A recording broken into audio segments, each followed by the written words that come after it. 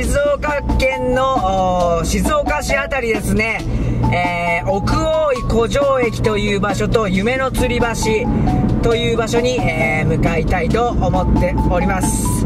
このね奥大井古城駅はですねずーっと行きたかったんですよね、まあ、過去に行ったことはあるんですけど、まあ、物心ついてから行きたいなと本当にね、思ってたので、楽しみにしております。ただ、遠いので、えー、ドライブはね、気をつけながら、楽しみながら向かいたいと思います。でい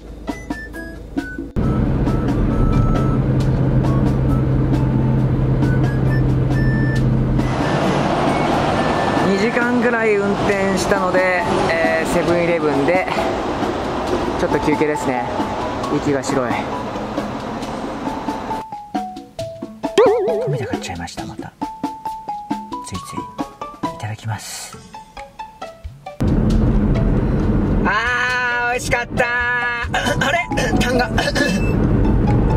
でましたね。なんかいつもさ富田買うのやめようって思ってるんですけど買っちゃうんですよね。であんまりあれあんまりだなっていう感じでそれ繰り返しちゃいますね。えー、こっから残り2時間ちょい下道でドライブします。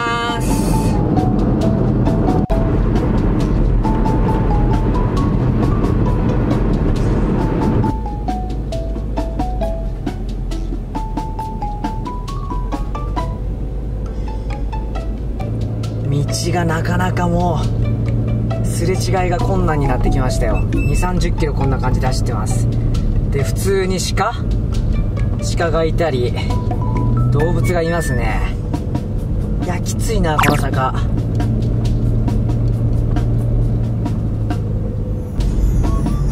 あー残り3キロですね。道通りたくないな。景色がいいからテンション上がるかもしれないけどすれ違いがね結構きつかったです、えー、残り3キロで千頭駅ですね、えー、第1位の目的地の道の駅がそこにありますんでそこで休憩します。道の駅着きました。ものすごく静かです。そして寒いですね。こちらの千頭駅はあのーアプト式鉄道だっけな。あのそこの始発だった気がするんで、まあ、あの明るくなったらまた撮りますので、えー、ここで一回休憩します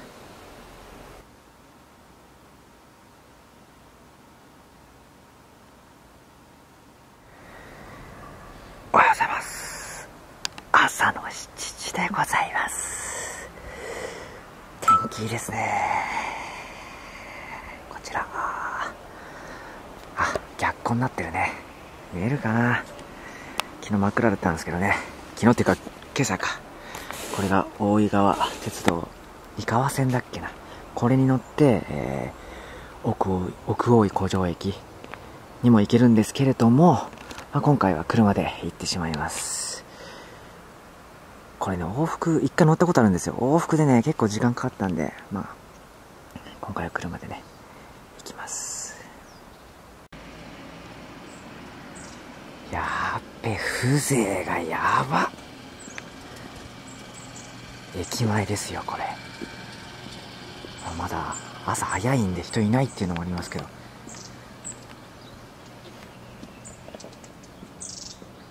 風情がやばい。やばいこちらが千頭駅ですね。なんか入ってみますか。ああこれ今日動画長くなりそう。マジで。すごい長くなりそう。開けます。なんかなんか開かねえんだけど。ごめんなさい。逆に開いてた。あまだ売店もやってないですね。いやいいね。手ぶれごめんなさいこんな感じですよ。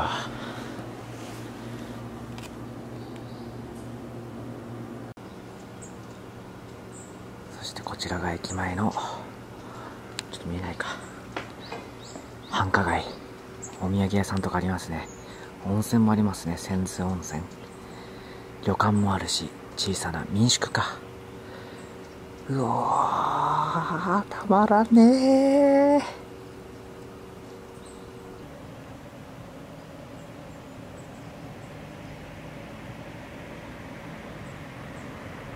はい泉津駅出ました。できたら電車が走るとこ見たかったんですけどね。まあそこまで電車に興味もないのでえー、今から須又峡温泉あ須又峡おすごい左左左見えます？吊り橋。見えないかな？ちょっと見づらいですね。えー、っとね須又峡温泉というところと夢の吊り橋という場所に行きたいと思います。で奥大井古城駅に関してはあのー、別の動画でアップさせていただきます。では温泉郷へ向かいます。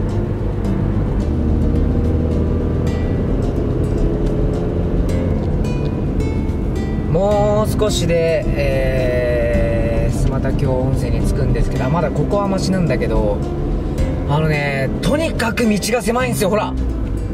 これで対向車来ますからね。これがずっと続きます。週末はね絶対行きたくない。週末の午前中とか午後とか。これはストレスだよ。やばいこの道着きました。かなりの秘境ですねこれ。車で奥まで行けるのかな？行ってみます。今温泉街を回ってるんですけどなんだろう小さなカフェやら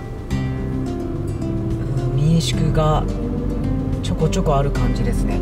いやここに来るのはなかなかすごいぞ。ああけどいい雰囲気出してますね。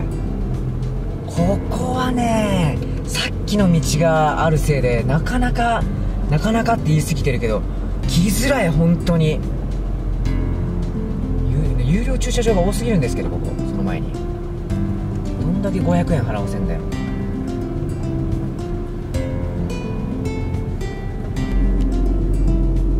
はい。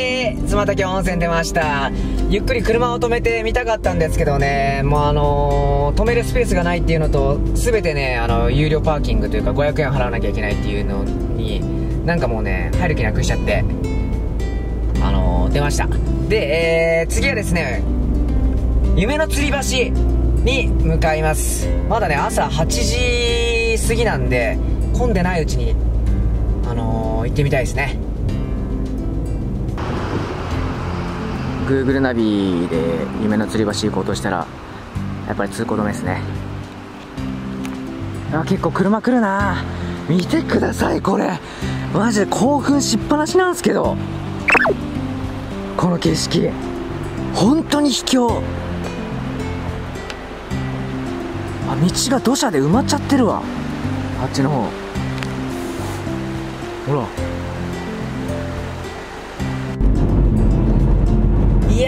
なかったです。あの夢の吊り橋？ナビ入れてあのー、行ってみても U ターンさせようとするんですよ。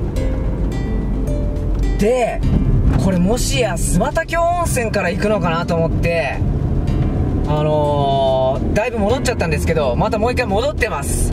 おそらくねなんかね10年前ぐらいに来た時はそう須磨滝温泉に止めたんだよね車。でなんで須磨滝温泉に車止めたんだろうっていう風に思っていたら多分夢の吊り橋に行ったんだと思う。でなぜ有料駐車場が多いのかっていうのも夢の吊り橋があるからなんだと思う。危なかったこれ戻りきってたら本当にもう来る気なくしてたわ。戻りますわ。結局ですね駐車場止めましたよ。ここから歩いて30分かかるらしい。そんな遠かったか。覚えてなかったなそこまで。温泉がありました。暑そう。あぬるい。うわ。ネットネタ？ん？あれ？わかんないや。全然わかんないや。飲めません。とにかく風情がすごいですねここ。ではここから歩きます。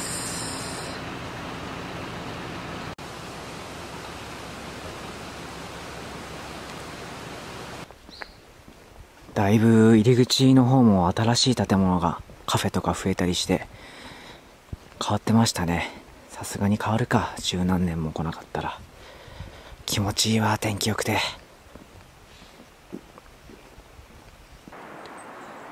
すごい景色。天気もすっごい。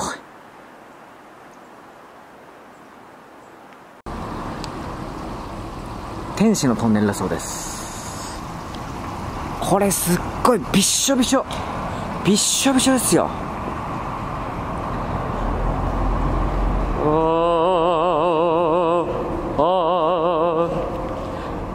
私の。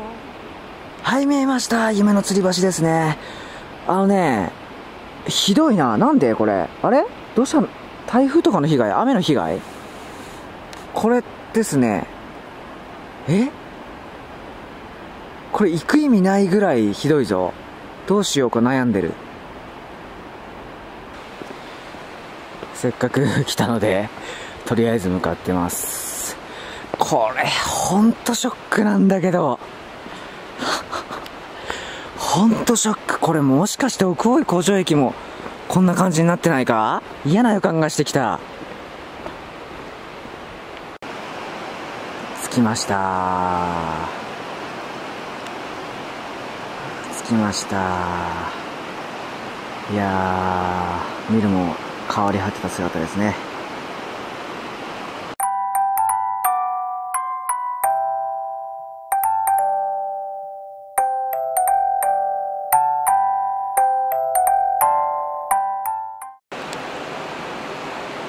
はい。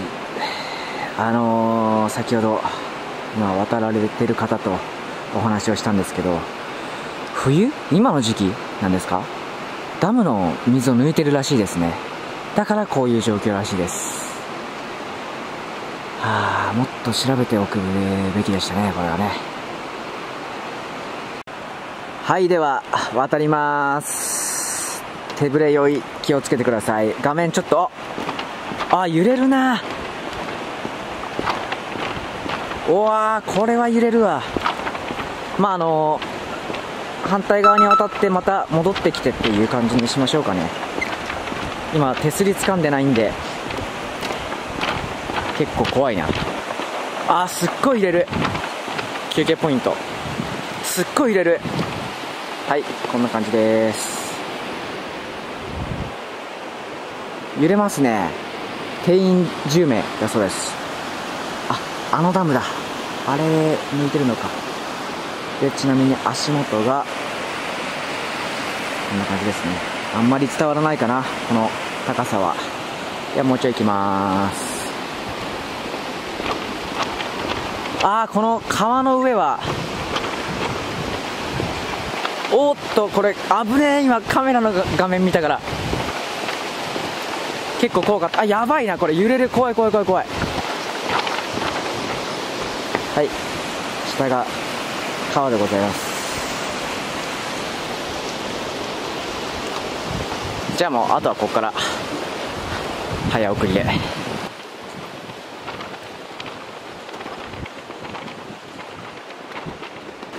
はい着いた。はあ。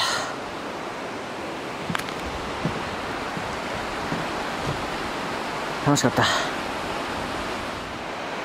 い。来なくてもよかったレベルでしたね。じゃあ。戻りますか。猿がいるんですよ。猿がいて危ないんですね。石が落石があって。あれ？どこにいるほらほら登って。あ怖怖怖怖ほらほらほらほら。ほら。ね？ちょっと逃げます途中にあったあお土産屋さんであとはね絶対寄っちゃいただきます